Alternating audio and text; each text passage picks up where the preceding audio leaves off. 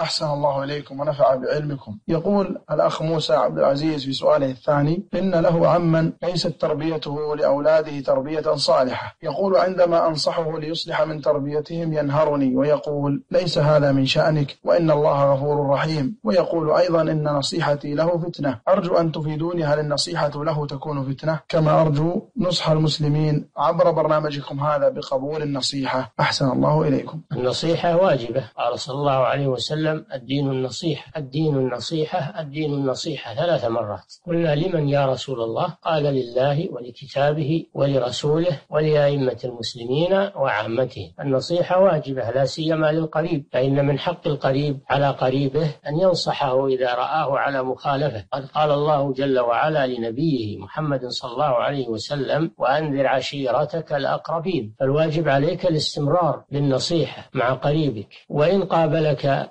بما ذكرت من الكلام القاسي فإنك تصبر على ذلك وتواصل النصيحة معه إبراء لذمتك ولعل الله سبحانه وتعالى أن يهديه. ويجب على المسلم أن يقبل النصيحة ولا يركب الهوى فإنه يجب على المسلم إذا بلغه شيء من أمر الله ورسوله أن يأخذ به. وما كان لمؤمن ولا مؤمنة إذا قضى الله ورسوله أمرا أن يكون لهم الخيرة من أمرهم. من يعص الله ورسوله فقد ضل ضلالا مبينا. ويقول جل وعلا وما آتاكم الرسول فخذوه وما نهاكم عنه فانتهوا. ويقول صلى الله عليه وسلم آه إذا ما نهيتكم عنه فاجتنبوه وما أمرتكم به فأتوا منه ما استطعتم. فلا يجوز للمسلم الذي يبلغه كتاب الله أو سنة رسوله صلى الله عليه وسلم أن يخالف ذلك ويبقى على هواه وعلى رغبته ويزدري الناصحين. هذا ليس من صفات المسلمين.